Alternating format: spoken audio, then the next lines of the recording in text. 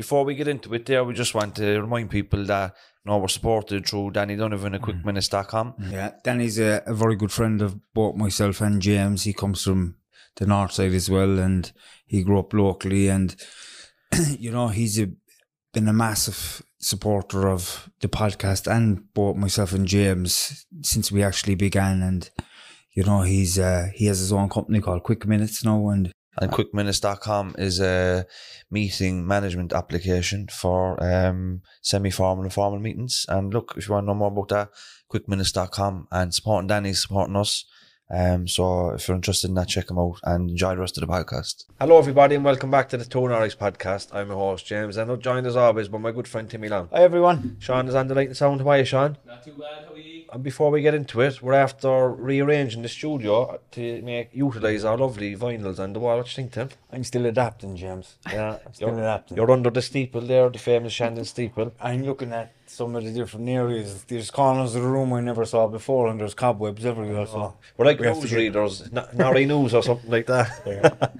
and then our guest today is the Director General of the Irish Prison Service, Caron McCaffery. Morning, James. Morning, Jimmy. Lovely to be here. Is that like the CEO of prisons? Effectively, it is. Yeah, Yeah, absolutely. Now, before we get into it, the backdrop you have here is a beautiful painting by Keith Anderson of it's from Baker's Road, which is just below Knocknaheeny, looking over the north side out into the harbour. So, uh, just for people that are kind of catching the eye, that's Gurranabraher Church to your right. Actually, if you go behind Gurranabraher Church and up that way, the prison, and you know where we are at the moment, actually, across the river is Montenotte, and just over that hill then is Cork Prison. Okay, So, uh, you'll probably be up there after anyway. I will. So before we get into the, the work you're doing at the moment, for the people that don't know you, where are you from, where did you grow up, and how did you get into this role? Yeah, so um, I'm originally from Castleknock in Dublin. Um, I spent most of my childhood there. Um, I'm currently living in Longford. Um, so I've been in the prison service for 16 years, and the prison service decentralised to Longford. Um, and so I moved uh, lock, stock, and barrel, um, and I'm very happily uh, living there. And I've got a couple of kids who are country kids now. So actually, um, I couldn't ever contemplate going back um, to a city. So really happy to be where I'm living, um, and really happy to be where I'm working. So as you say, I'm currently Director General of the Prison Service. Um, I've had this role for four years now. Um, I'm incredibly privileged um, to be in the role and to serve our staff, of whom we have over 3,500, to serve the people in our care, um, who today we have um, almost 4,400, and then to serve broader society in terms of working really hard within our service to achieve better outcomes for people in our care, which is to the benefit of everybody in our communities. Uh, So did you, you said you started in the prison service 16 years ago. What did you do before that? So I joined the Department of Justice straight out of college. So I didn't know what I wanted to do. So I did an arts degree, um, as many people do, uh, and followed my passion, which was English and history at the time. I did a master's in international relations, um, politics, economics, and law, and then joined the Department of Justice. I always knew, I suppose, I wanted to be a public servant. Um, I think growing up, I wanted to be a teacher, um, but ended up joining the Department of Justice, spent six years there, and joined the prison service. And I suppose I always saw it as accidental that I ended up in the prison service. But my mum did a lovely thing for all of us when we turned 40, and she made a memory box for all of us. And my dad was in the army and he served abroad. So she'd saved all the letters we'd sent to him. And there was a letter I had sent to him when I was 14 and studying potentially not so hard for my junior cert and talking about what I wanted to do. And I was saying I wanted to be a teacher, but actually I'd like to teach in prisons. Um, so I've always had a strong sense of social justice and always believed that education, um, you know, is a real leveler and can provide so much opportunity for everybody. And, and unfortunately, um, access isn't always equal and people don't always have equality of opportunity. So it's interesting actually that um, I'm in the role I'm in, and I think it's not necessarily accidental, and more hopefully, um, you know, by fate that I find myself in a role that I'm really, really passionate about um, and really dedicated to. it's one of those roles as well within our society that you've so much like people are looking at you to make these changes not just the, the public in general but people like myself and james who would have been in prison before and make positive changes. So down the line guys see they, they look at prison as a, place where they can it's, it's rehabilitation they can learn they can educate get education learn about themselves get mental health services within there and like is that a big emphasis for you at the moment It's a huge emphasis for me. So I have an international role at the moment. I'm also president of Europris, which represents 35 prison services internationally in terms of promoting best practice. And when I speak anywhere, both nationally or internationally, I'm really clear about the role of the prison service. And our role is not just to lock people up, our role is to unlock potential.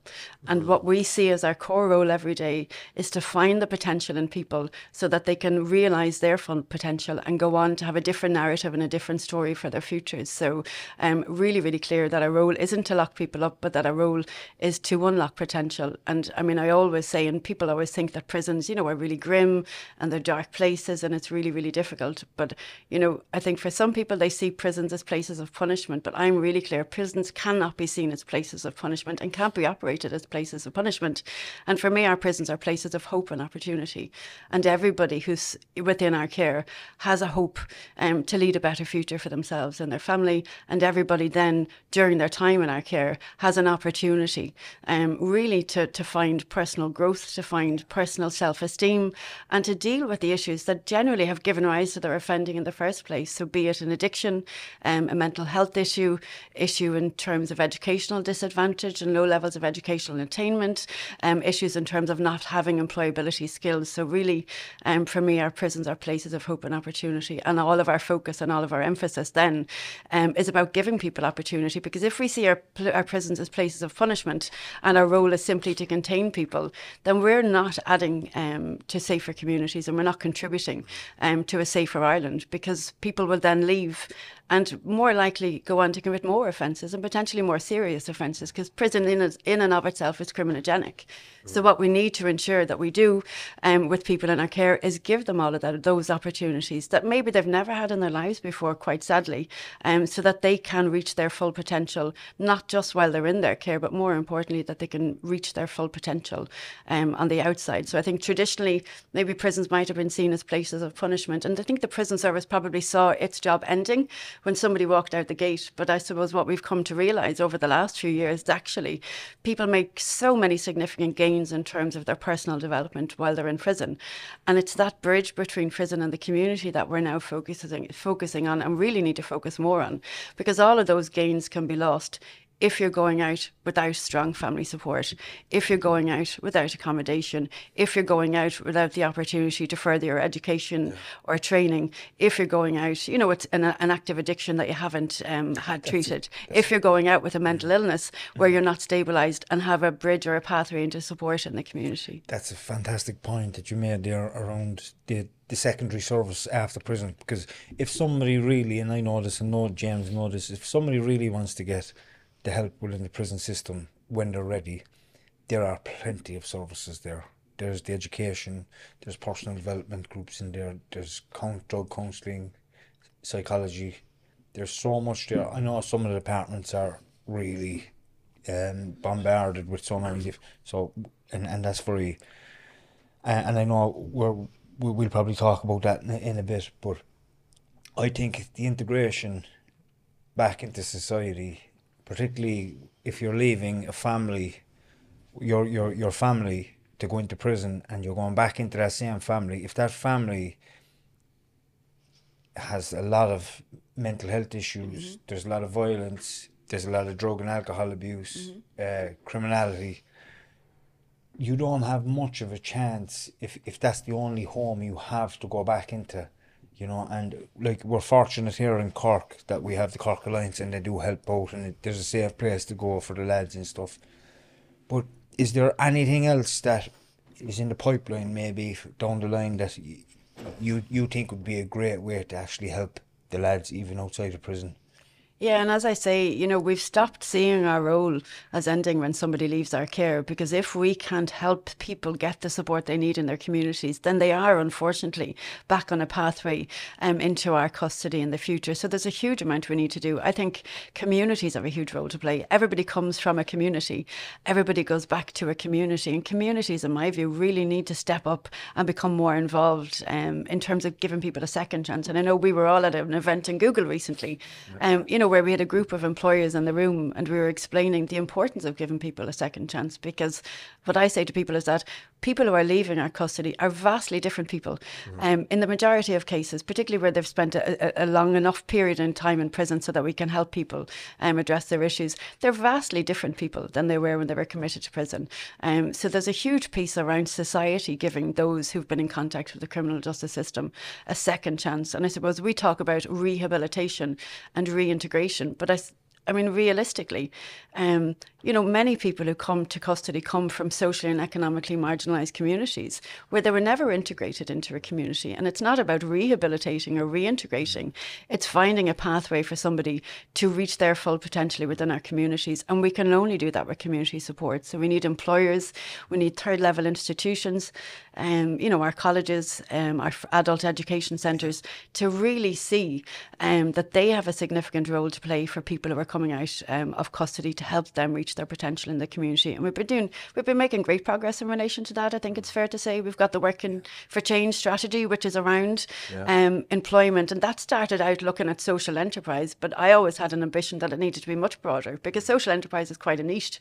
But what we need employers to see is the journey of change and transformation that people have undergone in prison, and also see that they have so many skills to give, and that there's an incredibly talented workforce, um, you know, within our care at the moment who've got something, you know, that that employers want and employers need. Similarly, in terms of third level education, we've been working really closely with Minister Simon Harris, and for the first time, the National Access Plan for Higher Education was published recently, and people in contact with the criminal justice system have been identified as a marginalised group, and I think that's what we need to see more of. We need service in the in, in our community to see people in our custody as citizens, and then for them to provide um, a, a really good service to people on their release. But I think we also need to be clear that it's not equality of access. And I was really clear with the minister in relation to this in terms of education. There's more support needed. There's more wraparound services to help somebody and to give them the opportunity. So just getting a place on a course or just getting a place in education isn't enough. What you need are wraparound services and ongoing support and mentoring um, for for people to to realise their full potential. Absolutely. And you mentioned the term there, uh, criminogenic, and people might know what that means, but just what Timmy spoke about there. If you're in an environment where there's poverty, mental health, antisocial behaviour, drug use, these all contribute towards crime and criminal behaviour. And the, the word that they use is a criminogenic environment. And if you're in a landing, in in a prison where there's no services, I- I suppose because some people look at prison as like punishment. They shouldn't have TVs, they shouldn't have kettles, but that is a criminogenic environment and that contributes to recidivism, which means reoffending afterwards. So, what would you say to people that have the belief that TVs, gyms, and kettles and things like that should be taken from they should be locked up? Can you explain why people are afforded such comforts or maybe um, are treated more humanely than others would like and how that helps to reduce crime? Yeah, I suppose we're always really conscious in all of our work in relation to victims of crime, and we know that a lot of harm has been done to people in our communities Yeah. because they've been victims of crime. We can't change what's happened to that person, but what we can change is ensuring that no future victims of crime are created. So if we were to take somebody into our custody and simply lock them up, not treat them with decency, not treat them with humanity and empathy, and not work with them to address the issues that gave rise to their offending, more victims of crime will be created in our communities. So the reason, um, you know, we have a very humane and a very empathetic approach um, within our prisons is because it gives the person the best opportunity to make the best use of that time to turn their lives around. So where I suppose previously the value proposition of imprisonment was seen as incapacitation, so you could take somebody dangerous off the streets, um, and of course, you know, you are incapacitated while you're in custody, but we're not going to reduce your risk of reoffending again if we don't work with you to deal with the issues that gave rise to your offending. So if we don't have really good addiction services to help people, um, you know, deal with an addiction, if we don't have incredible education services to give people, it's not a second chance at education. In many cases, it's the first chance at education and to reach their potential and grow their self-belief and, and, and, and self-esteem. If we can't give people work training um, opportunities that will give them skills on release for employment, if we can't model pro-social behaviour, you know, in terms terms of all of our engagements and interactions, well, then we're not going to serve society well because we won't be reducing the likelihood of the person in our care reoffending when they're released. So our whole system is around built around humanity, um, and unfortunately, not all prison systems are built on those those those, those principles. So I spoke recently at an international worldwide conference actually, um, and people were really taken aback by the level of humanity and the level of empathy um, that the Irish Prison Service has for people in its care. Um, and this conference in, was in the States actually, and I declined an invitation to go and visit an American prison because in that prison, you weren't offenders weren't allowed to look at the staff. They had to turn their backs to people as they walked by, and for me that's inhumane. And if we treat people inhumanely, um, then we won't expect those people to take that opportunity, um, you know that that that a sentence gives in terms of addressing the reasons that they found themselves in the criminal justice system. Yeah, but I think if you look at like either side of the water, that you know between the UK and between America, like we can be thankful for I suppose what we have. Um, we all know the horror stories from Rikers Island and how prison officers, you know, facilitate violence and stuff like that. Um, I was up in the prison recently doing we were delivering an addiction studies course, and uh, there's about fourteen in the group, and they they commented on um, the re- the recruit prison officers, the new prison officers being more open and uh, you know just um, having more of an understanding and having less judgment and stuff like that. But that's not by accident. That was the design of the new recruitment. Um, myself and Sheila Connolly had a little input into that. But will you um, explain to the people that's listening and watching I suppose, the ethos behind the new recruitment? Yeah, so actually, I was responsible for that. I was director of HR at the time, and I suppose what we traditionally been recruiting people into the role of a prison officer, we were looking at security focused, um, you know, skills. Um, and again, that was because you know traditionally we saw imprisonment as being first and foremost around security and safety.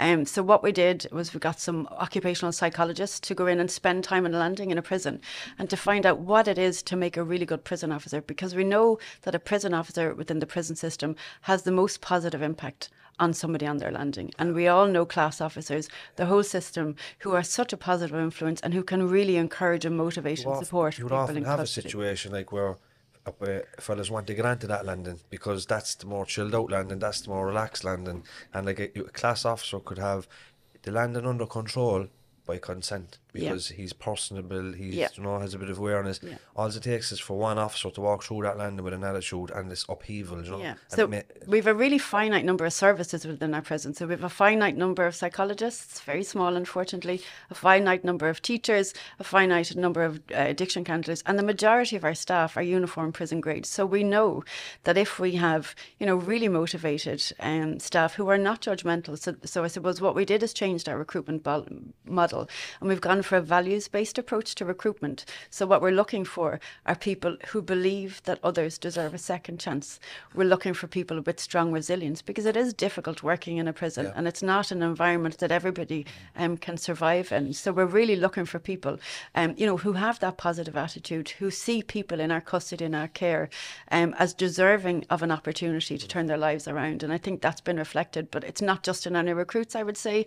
Um, you know, we have incredible prison officers right throughout our service. Yeah. And for me, it's one of the proudest things um, that we have in our service is the relational, um, you know, element within our service. So the, the relationships between staff and people in our care in the prison system in Ireland, I don't think um, is replicated in any other jurisdiction. And when I have other people over visiting, they can't believe the level of engagement, the level of trust, the level of respect. And respect is a two-way thing.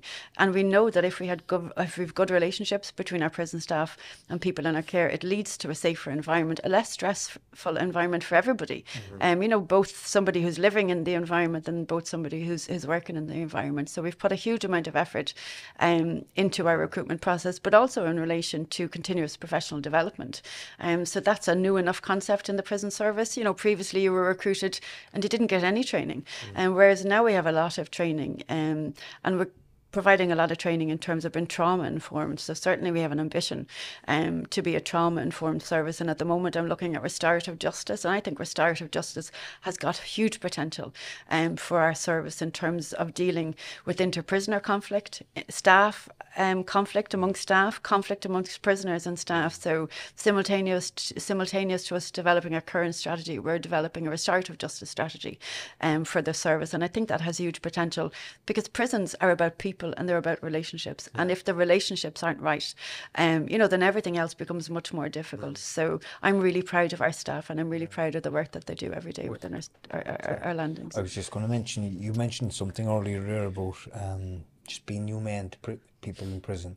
Um, I think that's very important because a lot of the people in prison may have had s- some form of difficulty in their life growing up or whatever it may have been, and they may have lost all forms of trust uh, against humanity, really, Yeah. and everybody around them. So, um, so I suppose if you were, i- i- if they're to be in prison and they're being treated badly like everybody else who's just turned their back on them, but if they're being tru- treated with respect, given a little bit of responsibility, you know, an officer saying hello to him in the morning instead of, come on, you get up. Do you know, that goes so far, you know, it goes so far with, with somebody. It actually shows them, you're showing them that there is hope in, in, in life, you know, there is hope and people are good. Yeah. Because the, the, the, the people on the outside, for them, they may be involved in all forms of crime and, and drugs and whatever it may be, it doesn't matter.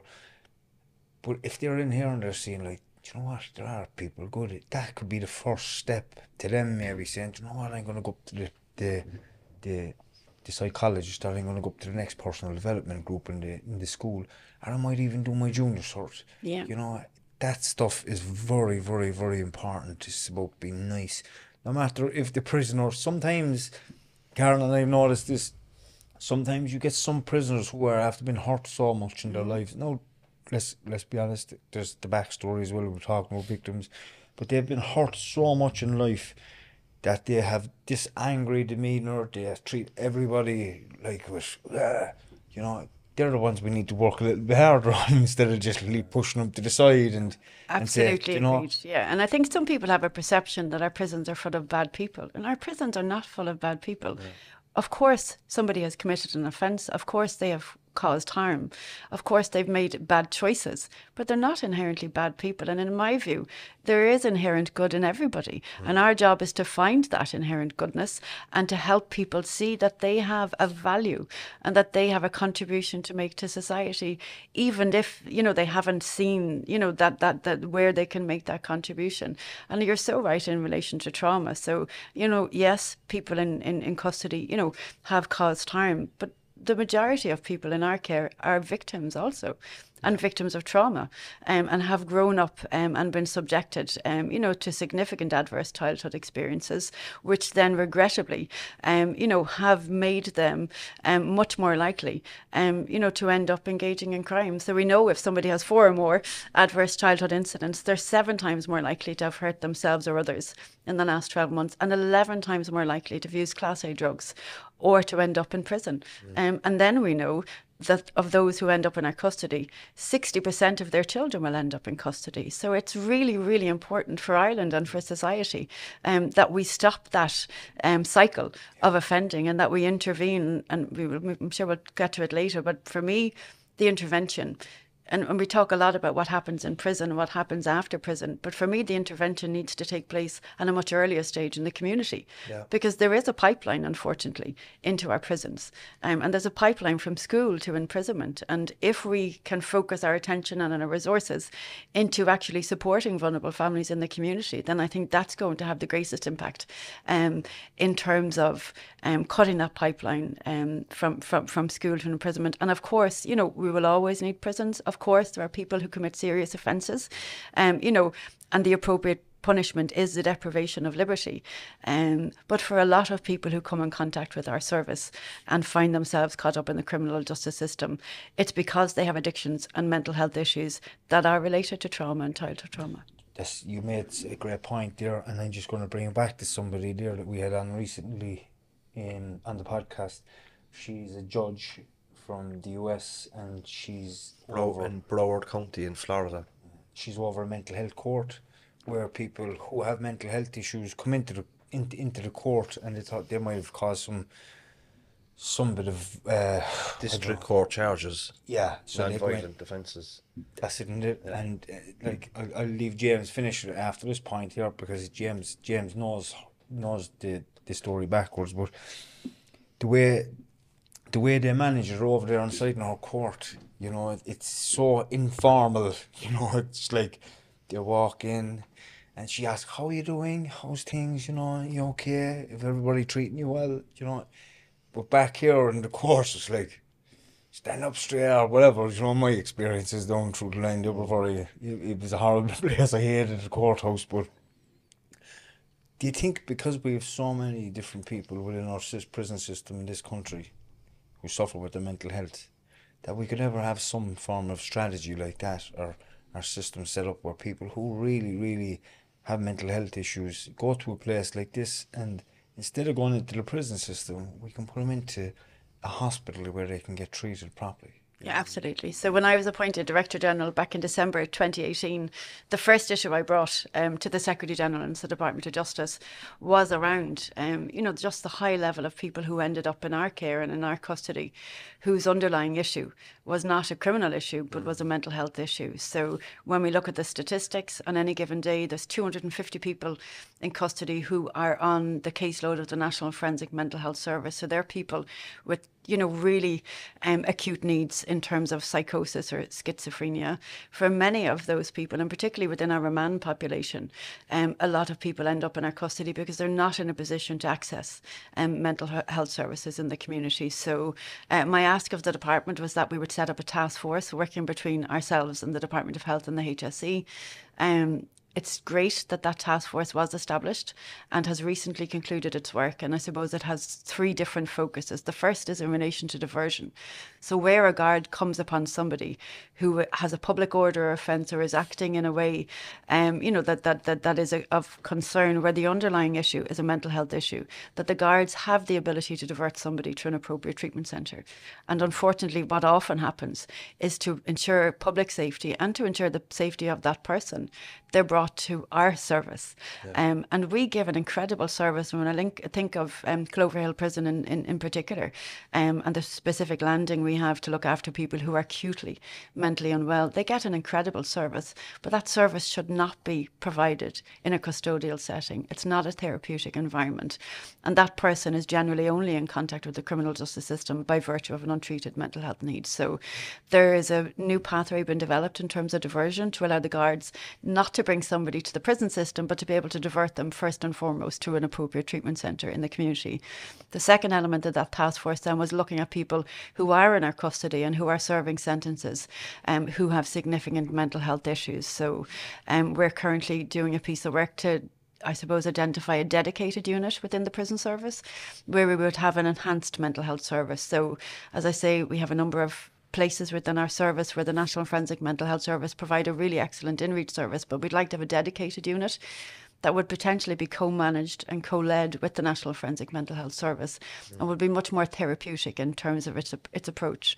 Um, so we're well on the way to establishing that at the moment within our service. And then the third part of the mental health task force was looking at the through care piece. And again, really, really important when somebody goes out that they're going out into a service and that they have stability and continuity of care. So that mental health task force has recently concluded its work. And I know the first meeting in terms of the implementation plan of all of those recommendations is happening within the department next week. So there is a new blueprint in terms of how we manage people with mental illness um, within the criminal justice system. And I'm really looking forward to that um, being implemented because prison is not the place for people with severe enduring mental illness. And on any given day, we have 14 or 15 people waiting admission to the Central Mental Hospital. And those are people who are acutely, acutely unwell, um, who are living within our prisons and who we're providing excellent care. But no matter how amazing the care our staff and our clinicians give to those people, it's not sufficient because, in, you know, a prison is not a therapeutic, therapeutic environment and we don't have the facilities or the resources that they need to get better. Hello, everybody. Just to remind you all, uh, we are in the Opera House and 8 pm Saturday, the 25th of March, with Jimmy Barry Murphy and Shane Casey. Yeah, two very, very important figures in Cork City. Yeah. Jimmy Barry Murphy, one of the, the most inspirational sports stars we had in this city, and Shane Casey, yeah, one Billy of Murphy the characters himself. of the city. Yeah, yeah, yeah. Uh, the real offender will meet the young offender, as it were. But if you're interested in getting tickets, you can just go into the description of this video, and there's not that many left either, and we sold out last year. So uh, don't be disappointed when we see you there. Yes. Saturday, 25th March. Thank you. Next I was just thinking there. You know, a lot of the people that are going to prison, a lot of them have drug addiction, alcoholism, um, and whatever else. They're addicted to these things, and these like drugs and alcohol, they help people cope and it helps them to soothe, and you know we mm-hmm. we, we know how all that works. But when that's taken, and you're put into prison, what you're left with is the underlying issues around trauma, mm-hmm. mental health, whatever they're drinking on, it doesn't matter. You know, and, and you've people inside in the prisons like who are trying to cope with all these different things as well. You know, i issues from the past and whatever, drug addiction. How how what is the best way for for the prison system to be able to deal with people coming into the prison system like that? Yeah, so I mean, uh, seventy percent of people who come into our custody have an active addiction, be it um, drugs or alcohol, and the drug-seeking behaviour, as you know, doesn't stop at the prison gate. So, like, it's a really significant issue, and actually, increasingly of late, it's a really difficult issue in terms of just the level of drugs, um, you know, that have been thrown over perimeter walls into our prisons, and where somebody, and, and you're absolutely right, where you have an active addiction on the outside, and as I gave that statistic earlier, if you've got a lot of childhood trauma, you're 11 times more likely to be using class A drugs, and that is to soothe um, and to regulate yourself. So when that is cut off, I appreciate it's really, really difficult. But what we see, unfortunately, is a lot of people who spend a lot of their time in custody continuing um, that drug seeking behaviour and continuing, um, you know, to, to, to maintain their addiction while they're in a custody. I see custody as a really great opportunity for people um, to actually deal with their addiction. So at the moment, we're actually re um, working our keeping drugs out of prison policy. Um, but I suppose we need to be realistic. So long as we have people actively using drugs in our community, prisons are just a reflection of society.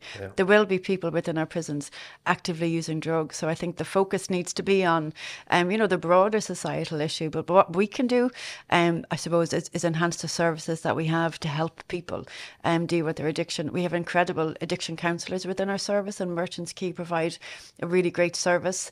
And we certainly need to expand that. Um, we, we, we, there's there's a lot more we can do, I think, to, to, to support people. We are at the moment looking at identifying a drug treatment um, unit, so similar to the unit I described earlier, which would be a bespoke unit. Um, so we have got a drug treatment program um, in the medical unit in Mountjoy.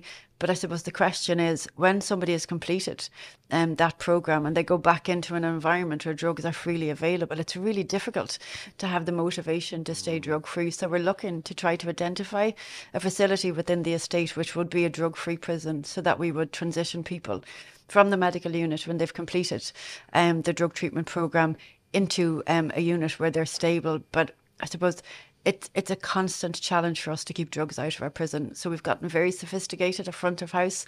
At the moment, we're investing in even more technology um, in terms of ensuring that visitors aren't bringing drugs into prison. And I do appreciate that a visitor or a family or a friend under member cou- could be under pressure, absolutely, and could think they're actually doing something somebody a service, Yeah. um, you know, by bringing in drugs. But the reality is, it's actually the opposite because we need to cut the flow of drugs down so that people can see it as an opportunity. So we're working with the guards at the moment around um, our perimeter security to see what we can do to stop people um, throwing drugs in. But really, it's a societal question in terms of addiction and drug use. And, and so long as we continue to have addiction within our communities, then we'll continue to see um, drugs within our prison. And as I say, you know, what we need is a much more trauma informed response um, within our communities to help people deal with their addictions so that addiction doesn't lead them down a pathway of criminality. Well, back in the early days of this podcast, one of our first guests was John Lonergan, who was the Mountjoy governor for a long time.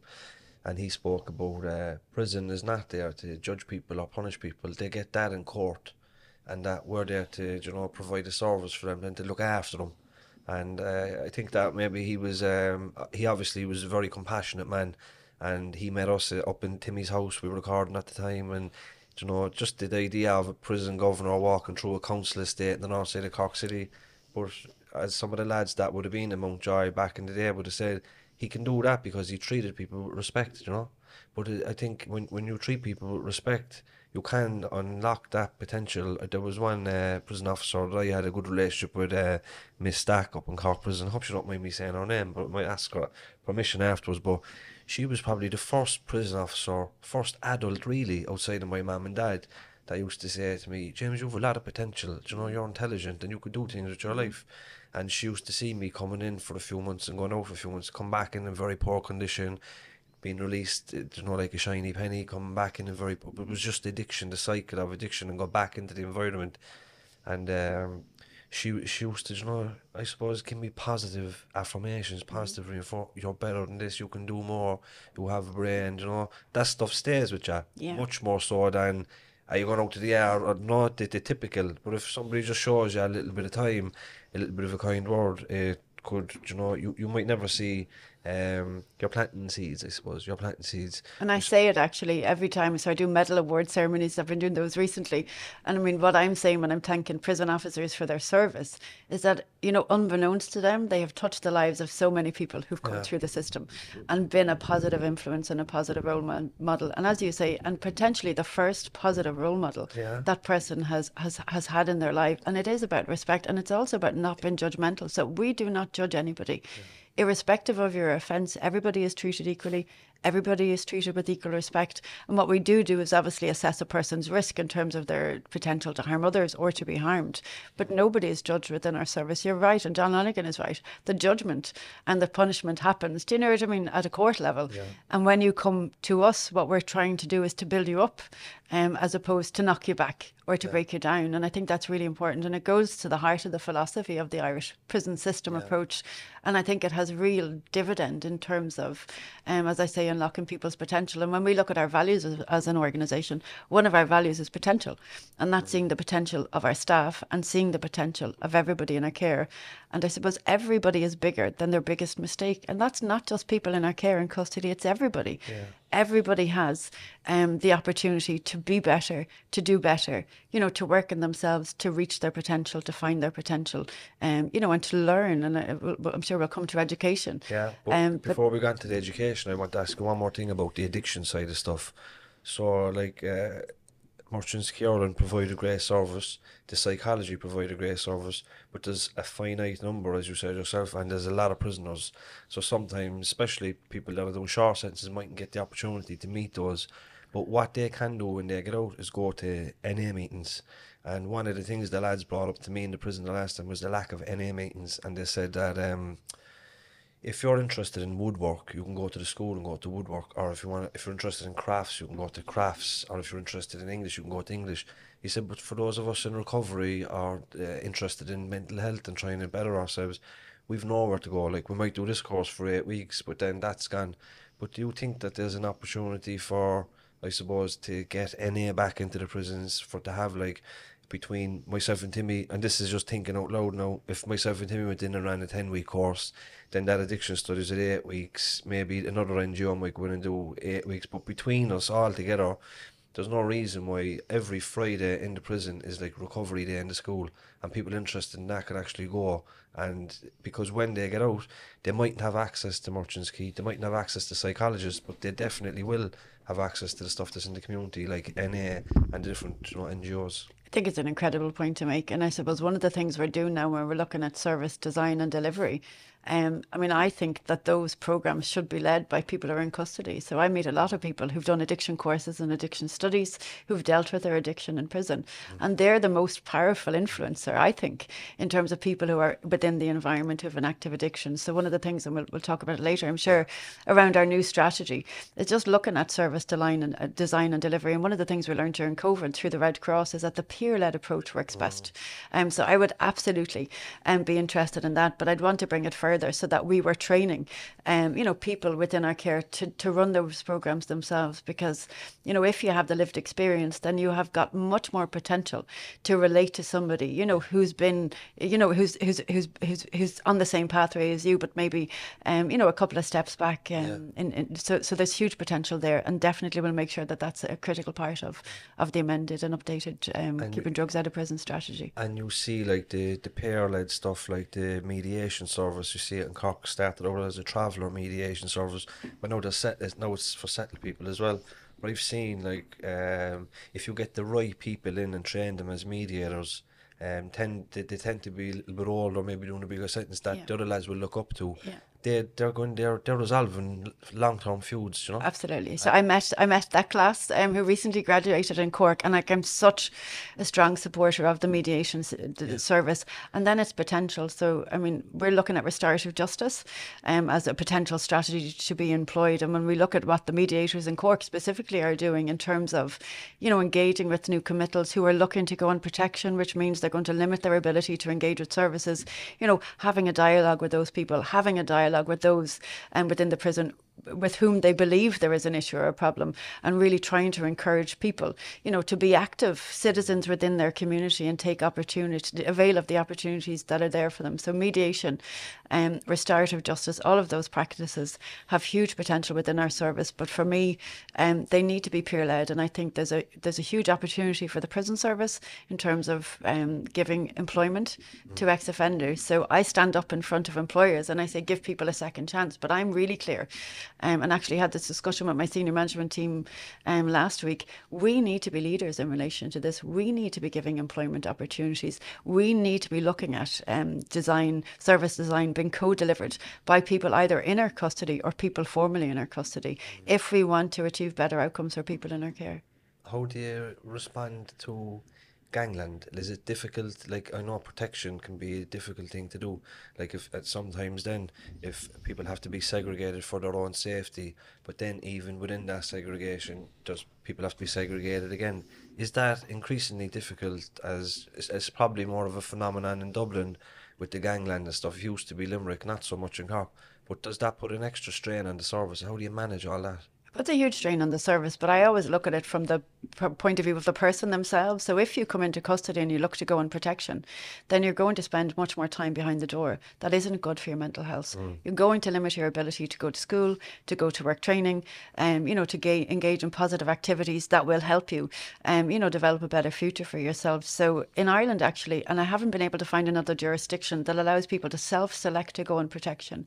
In every other country, it's done on a risk assessment. Um, so I have an ambition to change the prison rules actually to no longer allow people to self select to go in protection because what people are actually looking for in a lot of cases are to be with a particular group from Drimnagh or a particular group from Crumlin or a particular um, you know category. And actually you shouldn't need and, and it happens they're all on protection so you need to go on protection to fit into that group. We should be able to facilitate people um, you know to be together on a landing without them having to have protection. And as I say I do think uh, the mediation approach I do think the restorative justice approach um, is, is a way to go forward but it is so limiting for somebody if they ti spend their time on protection because they are limiting their opportunity um, to, to use the services that are available to them um, to turn their lives around. So it is a particular problem for us and it is something that we are um, you know very interested in resolving. And it may be the case down the road that we just have one prison that offers protection. Because if we have five protection prisoners we need to close the gym for 50 prisoners to bring those five prisoners. Yeah, so it limits everybody's ability um, to access services. And regrettably services are finite. So it's certainly something um, that we need to look at and, and that we need to address and, and it's a long-term goal. And again in terms of um, you know the gangland issue I think is a particularly difficult issue and there are feuds and factions that for everybody's safety we need to keep separate. Um, but outside of that um, you know there are lots of people who, who, who self-declare to go on protection and we really need to work with that. But also we need to work with the gangland um, people. And it's interesting I had a conversation with a long-term prisoner recently um, who sent me a proposal in terms of developing a program um, to deal with people who are engaged in criminal gangs to allow them to see a different future and a different pathway for themselves. And um, that doesn't necessarily you know mean the continuation of the pathway that they're on. So um, I think we when we're looking at you know services and approaches we need to make sure everybody um, you know is, is within our our, our, our, our, our our vision um, and that we're not, you know, saying just because you happen to be in a criminal gang, well then, you know, we don't have any hope for you Yeah, or you yeah. don't have a hope of a better future. I think we need to be very careful and see that everybody has equality of opportunity in terms of what we can offer. maybe maybe the prison the prison service has an opportunity to actually while people are incarcerated actually resolve feuds that could have you know big benefits outside as well And we've seen that happening in a number of our prisons, um, certainly within the traveller cohort, which, Yeah. and, and I suppose that's where the traveller mediation programme started, but then more broadly, um, you know, within other gangs, and certainly I think there's much more potential for that. what about women in prison so from my experience both personal and professional if a man goes to prison the girlfriend will generally come up to visit maybe bring she look after the kids pass up money for tr- runners and tobacco and all these things. But when a woman goes to prison, the children can end up in care. They're very seldom will the partner go up and visit or pass in money for runners and tobacco. Like, is it more complex for women? Is it a harsher? Is it harder for women to do time? Is there more shame and stigma attached to it? And it, it, do you manage women and men very differently within the prison service? Yeah, I suppose if we look at the demographics um, of the prisoner population, so we've just over 200 um, women in our custody today, and a significant number of those women, um, you know, wouldn't be sentenced prisoners; they would be on remand. I think it's quite a small population, and I think there's a distillation um, of vulnerability within that population that you might not necessarily see to the same extent within men. So, in many cases, there's addiction, um, there's homelessness, um, there's domestic violence, um, and there, people can come with very complex problems, significant issues in relation to mental illness. So um, we do treat women differently because under the Bangkok rules, are actually obliged to look at the specific needs and vulnerabilities of that group. And there's a couple of really good things happening at the moment. One, we've just built a new facility for women um, in Limerick Prison, um, and I mean, I, think when you see it, um, you know, the design is the design is trauma informed, and it's about a normalizing an environment where people can feel safe, and if they feel safe, then that they can take, you know, the steps and the small steps potentially, you know, to deal with the issues um, that have led them in, in contact with the criminal justice system. The issue of motherhood is really um, interesting. Actually, I had a conference with, or I had a conference call with an academic two weeks ago, um, and she presented at a Council of Europe conference I was on just around motherhood. Um, I'm actually we're going to invite her over to do some work with our staff and do some work with, with women within our custody because it's hugely traumatic for the women who end up in custody and they don't know where their children are or their children may be in care. Um, and also, we need to be really mindful of the impact that has on the children. Um, so I think there's a lot more we need to do around motherhood. You're right to say that women are not supported um, potentially by their families to a greater extent. And actually, recently, um, I've made some changes um, just in terms of what we can offer women from a hardship perspective. Um, so we're now, I mean, and, and it's really simple things. Um, you know, a lot of women when they leave prison have no clothes, and the only outfit they have is the prison outfit, yeah. which is a tracksuit, which it then identifies sad, yeah. you when you go out. Yeah as as an offender. So we've um, we've bought new clothing. Um, it's a proper set of clothing. Um, you know, we're we're, we're giving um, you know more personal hygiene products free of charge through the tuck shop. We're giving enhanced hardship payments, and actually that is to recognise um, that the needs of women are different, but also that they don't necessarily have the same um, family support. And a lot of women who end up in our care have really really complex needs, and they need a huge amount of support, and they get that support while they're in custody. So Timmy, you mentioned all of the services services that mm. are there. You know, so you have a peer group, you have acceptance, you have friends, you have stability, you have routine, you have access to healthcare, you have access to mental health, and um, you have access to education, you have access to psychology. But when you go back to your community, you don't have the access to those services. So, really, what we need to start focusing on, and I, I, think I mentioned this earlier, it's the transition piece back to the community, and it's how our communities can support really vulnerable people with complex problems so that they don't continue, um, you know, just to, to, to revolve within the criminal justice system. Do you know, the restorative justice part of it, So I think that's powerful. I think it's powerful because um, you, you might have a victim sitting across the table from the, per- the person who committed the crime, and I think it's very important as well, and it's very healing as well for a victim to be able to speak to the person who committed the crime and tell them how they actually felt and how they're still feeling today. And I think that that can happen only when, say, for example, not when Timmy went into prison initially, it only can happen when Timmy's after doing a bit of work on himself and he's aware and he's not using drugs and you know he understands now that his behaviours weren't great. They they they did no one justice, you know, including himself. So, it would it would it be something like that? You'd be able to work it. it do you ever see? Do, do you ever see? something like that ever happening with the victim. I know we've spoken about how it could work within within job roles and within the prison, talking to each other. But do you ever see it happening with victims of crime? Absolutely. So the probation service actually are leading the way in terms of restorative practices between offenders and victims.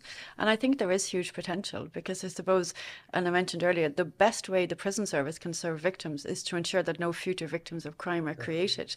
But while people are on that journey, while they're in our care and accessing services to learn more about themselves and why they've ended up in the criminal justice system, there is, a, I suppose, a realization then of the harm that has been caused to them um, and then the harm that they've caused to other. And I do think it's important in terms of um, reparation.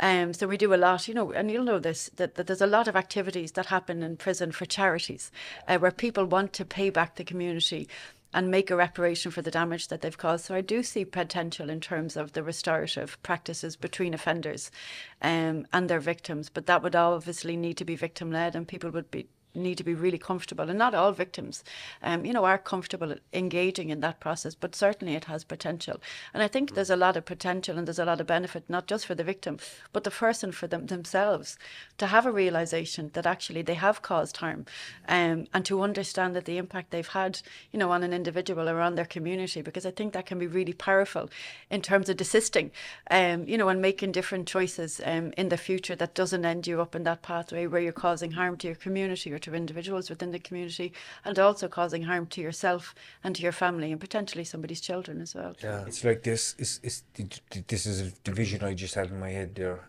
It's like I'm sitting across the table for you. You robbed my house, or we can switch it around, vice versa. Um, and you're telling me how you felt, telling me how how your children felt, your husband, how um how your grandmother's ring that you had for the last three generations is gone. You know how that made you feel. You know, um, you're not really worried about the money. It was some of the prized possessions that you had. That would hit you. Yeah. That would hit me like a ton of bricks. Yeah. And whether I go back using drugs or not, and I've no drugs, the next time I feel like I need to get money for drugs and rob someone's house, it's going to bring me back to that feeling that I felt while that person was telling me exactly how they felt during the the, the start of just uh, practice um, mm. meeting. I think that stuff is really really power, powerful, but there is there there is a lot of kind of quirky bits around the edges that need to be fixed yeah. to make sure everybody's safe yeah. and they're be minded during the whole process, not just during it, the lead up the after. I think there's even an aftercare kind of section that you yeah. might need for it as well, yeah, where absolutely you're meeting with counsellors individually because that's a, a big deal, and I think you probably even need somebody in the room mediating yeah. make sure because that's when you're meeting somebody that is bringing up an emotional experience from you from the past where you felt mm. a lot of anger and hatred towards somebody and they're sitting in front of you, it can get quite intense and they might even, you know. Yeah, I, I think it could be very powerful, but I think there are other ways for us to help people see the harm, you know, that they have caused in the hope that, do you know what I mean, that they can reflect on that. So there are different ways I think we can do that um, in terms of people telling their personal story, um, you know, within a group, in terms of, you know, people who've been through that process as an offender, you know, sharing, um, you know, the, just the harm that's been created. Um, but there's definitely, I think, a huge amount of potential. You're right, it needs to be very carefully done. But I suppose for me, what's most important is that somebody, while they're on their journey to recovery, recognizes that they have caused harm to their community, to their family, um, and to themselves, and that they make that determined effort then, um, you know, to try to right that wrong, particularly with themselves and you may not be able to right the wrong you may not be able to um, you know change the harm that's been done but there is a different pathway for the future mm. and i think what's really important is that we we're focusing people on the future and giving them hope and different pathways so that that isn't an inevitability in terms of a cycle of behavior for somebody's mm. life because Definitely. you might have caused harm in the past but if you can recognize that you have caused harm and the impact of that not just on the victim but on the wider community and your own, um, you know, family and community, I think there is real potential then um, in terms of people making different decisions into the future. So, some of the flack we get sometimes is about uh, what about the victims, you know, what about the victims, which is, listen, we have to take that on the chin. But I suppose for myself and Timmy, we can't undo the things we've done. But what we try to do with our lives today is to, I suppose, make an amends in a general way for society and to, because this is obviously shown in prisons as well, to show people that are currently in prison that there's a different life there for you. Um, you can rebuild your life and redefine who you are. And our goal really is to have less victims in the future, like Exactly. you spoke about. And a lot of the people we have on the podcast to have the personal story, they're all victims as well. Yeah. Like, yeah, they ended up in prison later in life, but when you hear about the abuses, the neglects, the violence, the different circumstances that they've been through in their lives way before prison became into their life, they're all victims too. And sometimes uh, crime and prison is just a symptom of all that other kind of victim stuff as well. But I suppose myself and Timmy was able to redefine our, our lives really through education. And it's such a key thing for myself and Timmy just to, I suppose, uh, to get an awareness around why our life turned out the way it did, give us the vocabulary to, you know, express ourselves and to pass on the message. But um, and Timmy speaks a lot about his um started out his education journey within the prison. But will you talk to us about maybe some of the educational supports that are in prison at the moment? I know there's a a great initiative there through Maynooth University and the kind of collection of universities there directly targeted at people that have been in prison as well. Yeah, I suppose the first thing I'll say is it's the most shocking statistic I ever um, can share in relation to people who are in our care today, and that's the average school leaving age of everybody in custody today is 14. And That's if you the junior sort like if you disengage with mainstream education at 14, you're more likely to hang around the streets. You're more likely, um, you know, to be used by gangs, to be influenced negatively. Um, you're more likely to get into trouble, um, and you're more likely then, um, or, or more unlikely to be able to find employment um, or, or further education opportunities. So, I mean, for me, that's an incredibly stark statistic. So, what we do in our schools is quite incredible because it's not I mean, it's adult education, but it's not a second chance. For many people, it's a first chance. Um, and I suppose from listening to different people's stories within the education centres, what's really clear is that there is a huge amount um, of undiagnosed learning disabilities, um, you know, within the prisoner population. And, and I suppose that's part of the reason why the person might have disengaged with mainstream education, that they have an educational disability. They're masking that disability or the learning disability by, you know, assuming a persona um, that leads them to get into trouble in school, that leads them to be excluded and then takes them down a particular pathway. So, I mean, education is really, really important.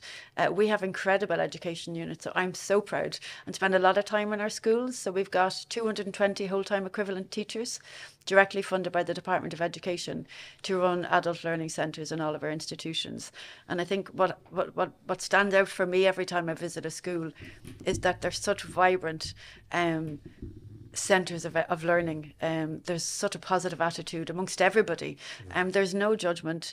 Um, you know, the, the, there's no judgment in any way in terms of your offence, in terms of your level of ability, in terms of the studies that you want to pursue, and really is an environment where you're trying to grow and nurture and develop. Um, you know, people's innate skills and abilities. And for me, when we look at some of the incredible work that's done within our schools, I find it really sad that somebody, you know, comes to custody to find that they have an incredible talent in relation to art, an incredible talent in relation to music, creative writing, incredible talent in relation to woodwork. And it's the first time that those talents have been identified and it's in an environment, a prison environment, where those talents have been nurtured. Um, so I think education has a huge role to play. Um, as I said earlier, in terms of breaking that pipeline between school and imprisonment. But the work that's done within our education centres is incredible. Last week I was at an Open University uh, graduation in the Midlands prison where somebody graduated with a degree from the Open University, and there were 17 other Open University students in the room who were investing huge time and energy in terms of using as education as a way to see a different future for themselves. So um, there are a huge array of subjects um, on offer, really tailored for um, the needs and I suppose the interests of people um, who are within our care. Our teachers are absolutely incredible. Our school officers are absolutely incredible. And then the results that are achieved are absolutely incredible. And I think it's not just you know the piece of paper that you get um, it's a love of lifelong learning that you pass on to your children. It's the recognition that education you know is an equaler and can give you so many opportunities in the future in terms of further education when you leave our custody um, or further training. So i mentioned earlier we've been doing quite a lot of work with minister simon harris who really gets this and understands this. And one of the things we'd like to do is to look at providing apprenticeship training um, within custody. So there is a huge demand for apprentices um, you know right across um, you know, the economy. Um, we have huge work training and education capabilities within our institutions. And what we'd like to be doing is actually providing pre apprenticeship training. So we do a lot in terms of work training at the moment. Um, but it doesn't necessarily lead to something. And I suppose, you know, while people are gaining, you know, qualifications, it would be great to do the pre apprenticeship training so that people have a really clear pathway to go out onto an apprenticeship where an employer has been found, you know, while you're in custody to take you on. And, and, and I think that's really important. In terms of third level education, I mean, there are really some incredible leaders in this field. You mentioned Maynooth University. I'd also mentioned Cork University and uh, Munster Technological, Technological, University. formerly and and, and I, I visited there actually um, this year. Um, They're doing the cookery, the yeah, course. yeah. So it's so it's incredible. So what we have are third level institutions who see the ability and the talent and the skill and the potential of people in custody and who are willing to give people that second chance, but not just give people a second chance, but to give people additional supports so that they can be successful and they can see third level education as, as, as an opportunity for them. So um, there's much more I think we can do within this space. And I certainly think a lot of our focus um, when we're engaging with the Department of Education um, and SOLAS, and as I say, um, the, the, the, the, the Department of Higher Education um, and Skills is around seeing pathways for people. Um, so there's no, it's not just good enough to do great work within, um, you know, your time in prison. You need to see a pathway and a really clear pathway for you, um, you know, into third level education or training in the community. And as I say, for the first time ever, the new National um, Access Plan for Higher Education specifically mentions people in contact with the criminal justice and a- as a vulnerable and a marginalised group. So I think we're certainly well on the way in relation to that. And I think there'll be some interesting developments over the next few years. You mentioned something there, and I think it's very it's very important to re-mention it. It's about the, the apprenticeship schemes. I think that would be absolutely amazing within the prison system. Firstly, because a lot of the lads who who haven't been ever educated, you you do need a junior sort in, in a lot of these areas to get a trade. Maybe in electrics you, and plumbing, you might need to leave and sort the equivalent in maths and English or whatever. You know, I'm sure there's ways around that too. But I think one of the most important factors is a lot of the lads, they're practically learners. They learn visually with their hands, and they're they're great. A lot of like, including myself, because I'm a carpenter by trade. Academically, wasn't it wasn't I wasn't ever. It wasn't something that I enjoyed sitting in the classroom and stuff. No, I can I can manage it, and I'm able for it. But back in the day, I, I couldn't. But I think starting up an initiative like that where you have woodwork, maybe basic plumbing, electrics within these classrooms, masonry, plastering, Yeah. painting. Yeah. These are things these are these could be massive for even the workforce that, that we have at the moment where we're so behind in construction we're missing massive uh, there's massive gaps in trades at the moment you know so I think th- you could be definitely onto something there if if if you could have further talk or, or with with the minister and stuff like that and but there is the education aspect of it as well where you need a certain level of education to get onto it Yeah, you and know. I, I think that might help motivate people. So if you see something really practical, so for for a lot of people, doing a junior cert or a leaving cert isn't, do you know what I mean, like an end in and of itself. But if you could see that doing your junior cert, um, slowly and incrementally with support, could lead to, um, you know, an actual apprenticeship when you leave custody, um, you know, which will lead to employment, which will give you stability, which will give you, you know, housing and all of those other opportunities.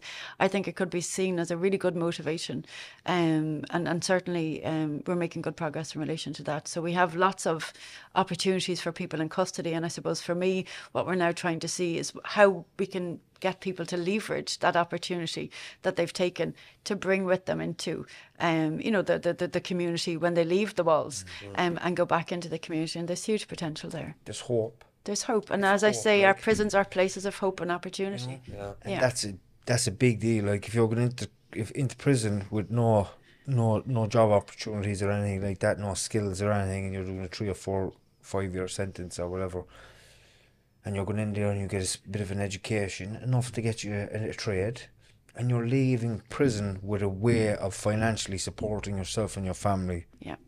It's a no brainer. Yeah. And it doesn't even need to be a full apprenticeship. So I know we've, Yeah. we've been talking to the National Construction Skills Centre, which is based in Offaly, and they do tickets to for, to drive machinery on a building site. But some of those ticket courses maybe two or three days, or maybe a week. Um, and there's certainly there's a huge willingness on their part to work with us to give opportunities for people because we know, um, you know that if you go out with a, a job that's been secured, there's huge potential. And I think you mentioned the Open Door Initiative in Cork Prison, um, where uh, Munster Technological MTU, a Munster Technological University, came in and thought a culinary skills program, um, you know, within Cork Prison. We then invited restaurateurs and hotel owners from across the county in. They were served an incredible dinner, but a lot of the guys who did that course got job offers offers on the night and have gone, um, you know, out into employment, and it is a game changer. So if we can uh, really focus our attention on building those pathways for people to go back to the community and not see our job as stopping at the gate, I think we can really help people, um, you know, fulfill their potential. So they're realizing their potential while they're in custody with us, but fulfilling that potential means having access to employment on release, having access and the ability and the opportunity to go on to third level education, um, or further adult education or training. So Yeah, you said something there as well earlier on about um, people that are educated, they'll kind of pass it on to their children. I remember when my dad was in prison, he did a open university course in the training unit Mountjoy. It was uh, sociology, it was criminal criminology and social policy. And when he was inside, my mum did a degree in CIT in community development. Now, it didn't happen for me straight away, but it wasn't by coincidence that I studied both of them at bachelor's and master's degree. So, like, giving people access to education while they're inside is not soft on crime. That's how you actually prevent future crime and break the cycle. Absolutely, absolutely. And I say that every time I talk to our teachers, um, that it's not just the student in the room that you're helping. Yeah. Instilling that love of lifelong learning and lighting that fire, um, you know, and that passion. Um, and I think you, you said yourself in terms of engaging in education, learning about yourself and why you've ended up where you are, um, you know, and, and, and is, is really powerful actually in terms of agency and taking control of your destiny. Um, so education has an incredible role to play. Because then you learn like maybe I'm not a scumbag, maybe I'm not a junkie, maybe maybe all this stuff contributed my behaviour and then when you learn that like well maybe I can have a better life now Exactly. because I'm not an inherently bad human being, even though I've been taught that all my life. And you know, you just get it more critical eye Mm-hmm. on your environment, you know, and start joining the dots. And I always found education to be personal development tool as well, learning about psychology, philosophy, sociology, being able to put the dots together and kind of look at my family, my own life, my community, zoom out, look at Europe and mm-hmm. you know geop- geopolitics. How all that contributes to life outcomes for individual people. So, um, But also the piece around self esteem and self worth. And I think that's as valuable as Yeah. the certificate um, that you might achieve at the end is actually realizing you have a talent and realizing you have a skill and realizing that you can achieve. Um, and for many people, where they get a qualification, um, you know, within prison, it's the first time um, they've had a qualification. And I love when the families come in. So I met the family of that guy who qualified or who graduated from Open University and how proud they were um, of, of his achievement. We had Gaisce gold winners, uh, gold medal winners there, and the dad of one of the guys there, and just so how proud um, f- of that achievement. And it's an achievement against all the odds because I know when I was talking to the guys in the room, it would be easy to spend your time on the landing. It would be easy to, you know, watch TV and play computer games. So it takes a huge amount of personal motivation to get up every day and go to school and to stick with it. And even when things become difficult, um, you know, or, or, or when there are problems, is to stay with it. That level of personal motivation. Um, and as I say, that fire then in terms of, of, of continuing your education, I think is one of the most important things we can give people while they're with us. You mentioned there, and I just want to reiterate, it's about the teachers. The teachers within the prison are absolutely amazing. The way the level they meet you, where they meet you around your education, you know, they bring it right back and they mind you. They don't push you. They take you at your own level. And I also uh, like I I got very emotional at the Gaisce Awards because one of my teachers from the Midlands prison actually came to the event, and um, she's my my first. I always thought of her because I kept some of the books that she gave me around um, vowels and stuff, reading even the alphabet, even learning all these different things, and I still have them at home. And um, I every time I see them books, I kind of think of her, and where she met me at the level she met me, and some all the other lads as well. Like I was never met at that level before by anybody, and it was, it was, it was such a beautiful thing for me to experience. But I didn't realize it at the time because I was going through so many different things. It wasn't until after prison I was able to look back and I said, Jesus Christ, they were amazing. Mm-hmm. The way they actually treated me. It was the first time I probably was never judged on who I was, mm-hmm. you know, by these people. Never judged like I'm sitting inside in prison and I wasn't even judged. They were treating me with respect. They'd bring in the odd few treats here and here and there. I might get a packet of biscuits or something like that, and that was even a big deal. You know, a cup of tea and a packet. It was a big deal. It showed like they actually they actually give a fuck. Do you know they actually care about you? And I learned so much from the teachers, and I I, I just felt the need to to commend the teachers that are in, in working for the prison service because you do a fantastic job. They're they're really really incredible, like really really incredible. But for me, I suppose the question it prompts is why does it take somebody coming in to contact with the criminal justice system and coming into prison to be able to engage with the education system, and what is it we need to do? You know, within our communities to support vulnerable children. Um, and actually, after this uh, recording, I'm meeting Senator Lynn Ruane, and we're trying to work together on a project at the moment, which is around trying to do an educational assessment um, of everybody coming into custody between 18 and 24 so that we have a real benchmark in terms of um, learning disabilities. And, and I suppose, again, it prompts the question how is it you end up in custody in your 20s or your 30s with undiagnosed dyslexia or undiagnosed ADHD? Hmm. And how do we work within our communities and work within our education system in our communities at primary level and maybe before primary level to make sure that people are given those supports and given that equality of opportunity in terms of nurturing and growing the innate talents that they have? I think I think having an educational psychologist within the prisons, each prison is just as important as having a clinical psychologist in there because what they do for the lads as well is they give the lads an understanding of why they might think in a certain way or act in a certain way, and they also, even for myself, when I got assessed uh, at the age of thirty six. The belief, all my core beliefs that I was stupid and thick and no good and there was something wrong with my brain, they all kind of just fizzed away once I got that assessment done. And I know a lot of the lads inside in the prison system, in, inside in the prisons, have the same ideas and beliefs about themselves, and Yeah. that's why a lot of them won't go to education because of that. Yeah. Because uh, reading is not for me, or education is not for me.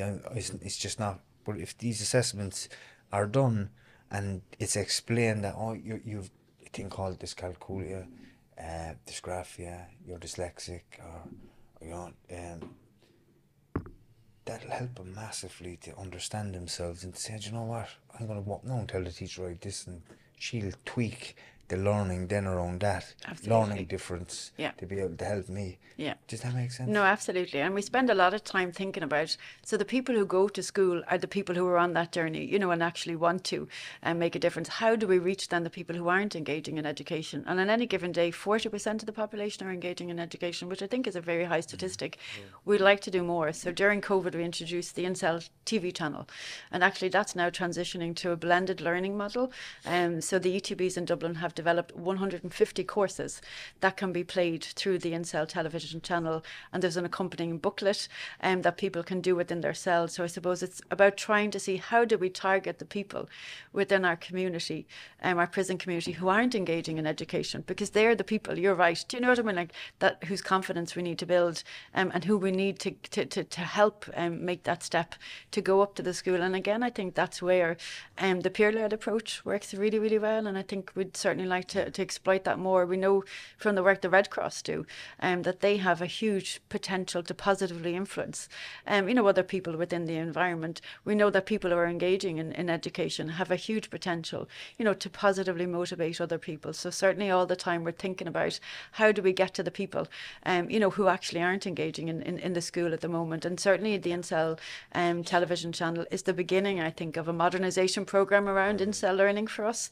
Um, but it offers people people an opportunity, um, you know, within their cell, um, you know, to maybe have a look at what's on offer and have a look and actually realise that, um, you know, it's not, um, you know, rocket science and that, that actually there are things maybe that would spark their interest. And, and I think it's important for us to make sure then that all, everything we're offering is of interest to, to, to, to, to people because there's no point in offering, you know, just the traditional leaving cert subjects or the junior cert subjects. And that's not what our schools are doing. The focus is really around um, QQI, it's around short, um, you know, programs where you can have an achievement over an eight week period. And there's a huge amount of support that's available um, through our schools. Yeah, and uh, it, it's great as well with the the Prison TV channel because we were delighted to get our podcast on the Prison TV channel for the very reason we spoke about there, because there will be like forty percent of people going to the school, but there'll be a lot of prisoners won't go to the school.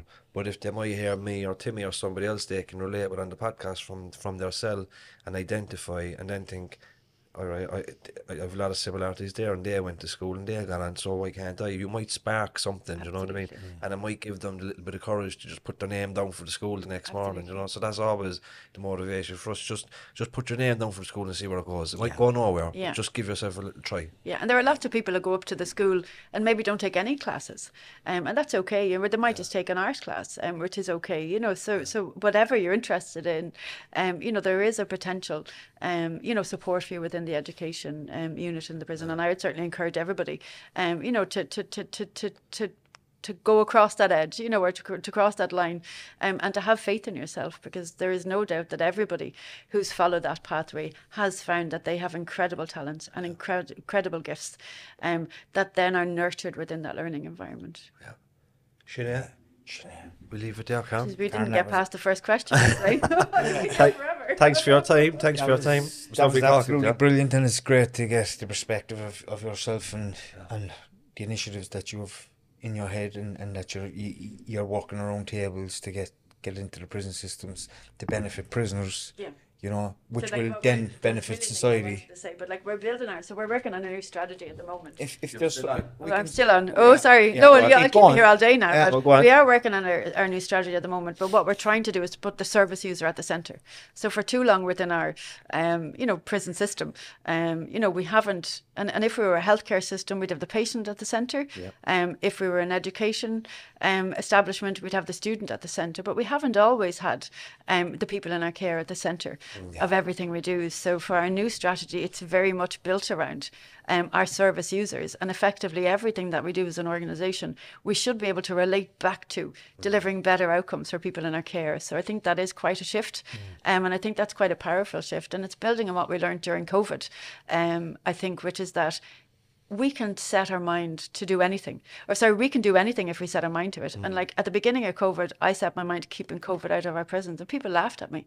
But actually between March and October, we didn't have a single case within our prison system because it was down to the determination of the people living and working in the prisons that they would all work together with a singular aim of keeping COVID out. So I think we've we've we've demonstrated that we can rally the whole organisation um, around delivering something really, really Actually, significant. somebody said to me that before, like we got COVID here around March, but somebody said to me that the prison service were actually preparing for COVID even Christmas beforehand. Yeah. Because they they see what was coming down the path. Absolutely. So we do, and I suppose we're a learning organisation, and things go wrong in prisons, and inevitably things go wrong. But I think Yeah. what's really important for us is we learn from from what went wrong, and we do better in the future. So we had a number of TB outbreaks in our prisons down through the years, and unfortunately, you know, both staff and people in our care were exposed to TB, which is obviously mm. what we don't want to happen.